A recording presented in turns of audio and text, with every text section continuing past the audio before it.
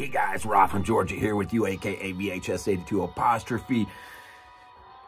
And here we go. We are here. The finality of year one is upon us. Episode 24, The Testament of Arkadia.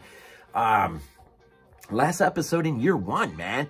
Um, and if I haven't sold you on this bill of goods yet, just know, man, it's only like 52 bucks on Amazon, man. Uh, you uh, you can't go wrong with this release, man. Uh, if, if, I've intrigued you at all over 24 episodes, uh, you know, including my introduction, um, and why you ought to uh, look, uh, you know, look at the prices on Amazon. You could spend a lot of money on a lot of things. Um, but if uh, if I've intrigued you enough, um, really, it, it's it's well worth the price. Shout Factory did an outstanding job putting this thing out, and here we are, man. Episode 24. Episode 24. I thought, I haven't really done this much, but uh, John Kenneth Muir's uh, Exploring Space 1999, his uh, reference guide to uh, this series. He, you know, in terms of wrapping up not only the uh, the year, but um, he he he says just just just um, indulge me for just a moment. John Kenneth Muir, in his commentary section, says this Ponder the episodes of the first season. In Missing Link, Koenig learns that intellect without emotion makes mankind barren. In Guardian of Piri, the Alphians, um, Alphans learn that there is no such thing as paradise. In Force of Life, they help a life form evolve even if they can't understand what it is or how it develops.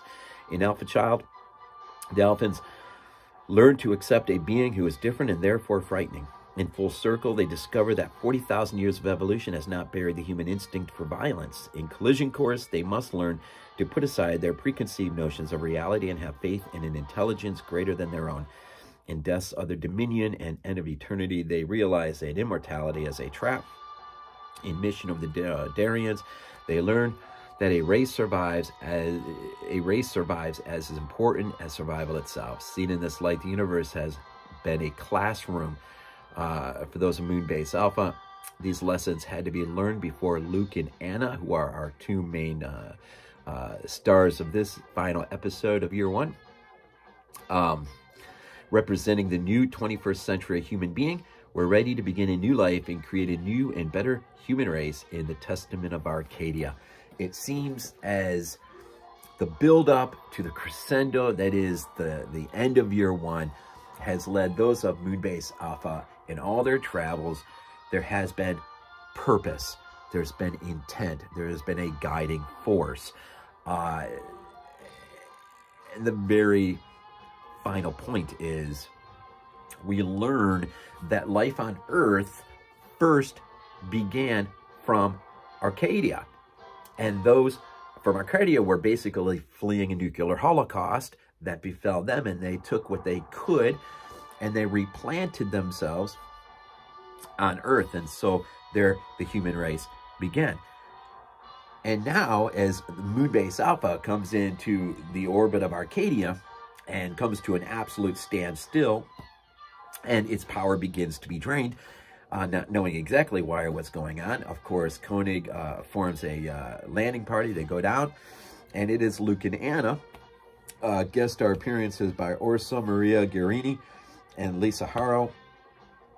Um, uh, Guerrini, of course, long history in Italian cinema, another Italian actor.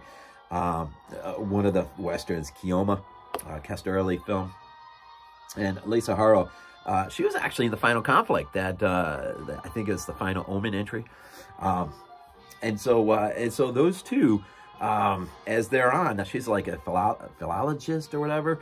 Um, she will, um, both of them will have this sort of, um, uh, I don't call it a paranormal experience, but like, you know, something to that effect where they, they have stumbled upon this lost cave and there's this sort of table and a round table of uh, what used to be human beings sort of, uh, you know, rotted away, but still sitting there in their bones uh, at the table. When left alone, those two will eventually have this uh, sort of um, um, experience. where they will come under the full belief that it's those two have been called to replant the seeds of life in a place that first set it off to earth now itself is dead but can be reborn. And luke and anna are the two. And so of course they realize this but to the detriment of koenig uh, who you know they'll get to a point where koenig you know where the power will will start to re uh, you know start to come back. And uh, and there's hope uh, Luke and Anna decide, uh, even if it's against the orders of Koenig, they will steal an eagle. They will kidnap Helena. They will take supplies, much needed supplies. Um, really, in the end, uh, signing Moonbase off as death warrant by fulfilling providence, destiny, fate, uh, a higher calling, uh, all of which, unbeknownst to anyone involved, they're all sort of serving their own unique purposes when Luke and Anna are finally on the surface of the planet at the end and have since released Helena and see Moonbase Alpha suddenly launch back off uh, into its uh, you know motion away, they will be sort of bewildered and I think with understanding that though they thought they understood everything that was happening. They only understood what they needed to understand for them and them alone and the sake and future of Arkadia. Uh, Koenig and Helena, of course, will reflect and ponder if that, you know, is their purpose, being Luke and Anna's, what has been their purpose or continues to be their purpose? Will they find their ultimate purpose in the universe? But the most intriguing thing to me and really reflecting and thinking about this last episode is maybe we finally have an answer unless it's revisited in year two, are we to surmise that Earth is lost, that it's gone, that truly uh, we're basically seeing an echo effect of sorts where first Arkadia falls under a, a, a nuclear holocaust and but survivors are able to uh, to go to Earth and uh, and uh, replenish humanity, so to speak. Now, Earth and its you know death pangs or whatever it itself is facing uh, ultimate death and barrenness, uh, will in the shape of Koenig and Moonbase Alpha as a result of their disaster and them being flung out into space, they will be able to repay Arkadia the favor by, even if it's without understanding or, or completeness of understanding or whatnot, they will bring Arkadia back to life, much like Arkadia gave Earth a chance. But unfortunately, both suffered ultimate disasters. The question is, will Luke and Anna, who have been on Moonbase Alpha, and all they have learned, all they have experienced, will they be able to spring the type of life on Arkadia that will avoid the many mistakes of the past of both Arkadia and Earth? That is the great question. It is the great question. Uh, an absolutely fabulous episode to end off on. Uh, the great unknown is open before us uh, in terms of year two. Um, I can't even comment at all on year two because I have yet to dive in at all. Um, but just considering uh, season one or year one of uh, Space 1999, uh, you know, just it is, it is really perhaps the downfall of 20th century technological man. It is a, uh, it serves as a critic of both um, politician, politics, and science, and uh, most everything, and seeks a renewed understanding of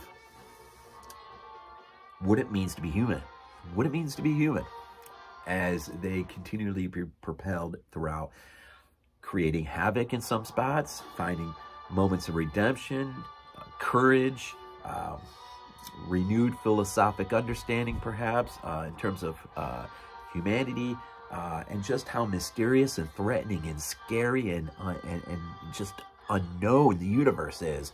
Um, who can say? And maybe this is, you know, this is, again, the offspring of both Outer Limits, Twilight Zone. This is tucked between Star Trek in Star Wars, but it offers something, a, a unique vision of the universe, one that is more, perhaps more real, more scary in terms of its unknown, mysterious quality or attributes.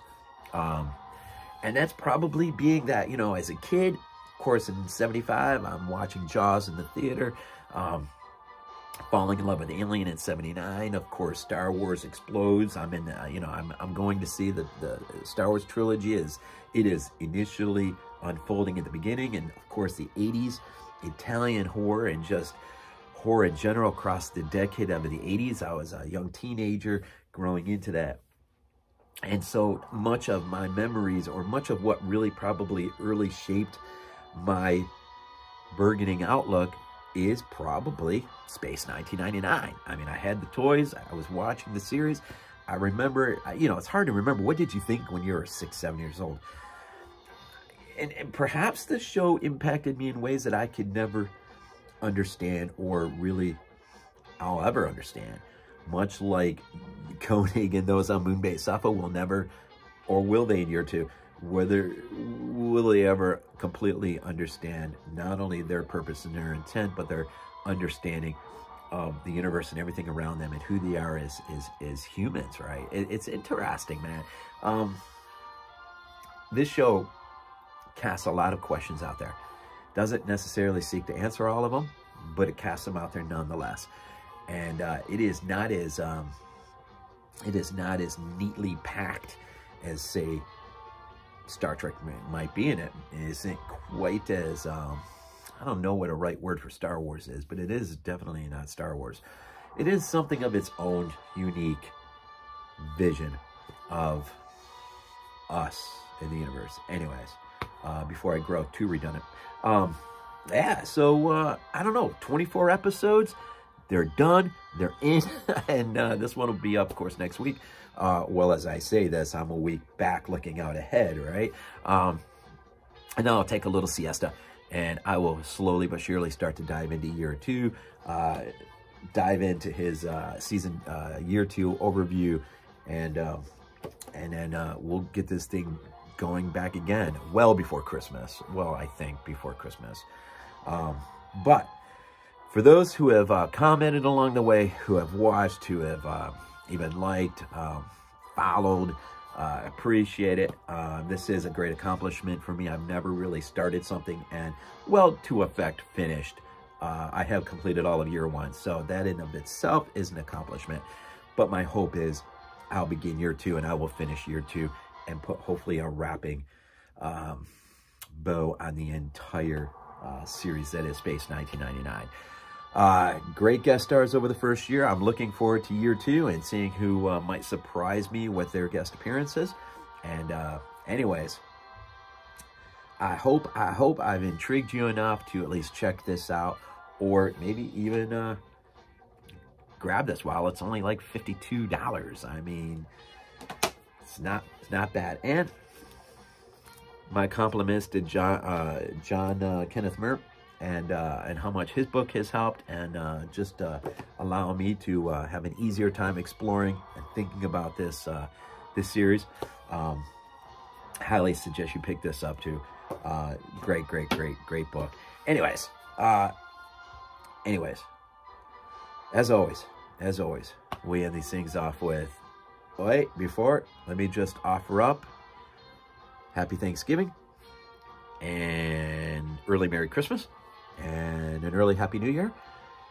And with all that, maybe I'll see my Bills in the Super Bowl. Who knows? Go Bills.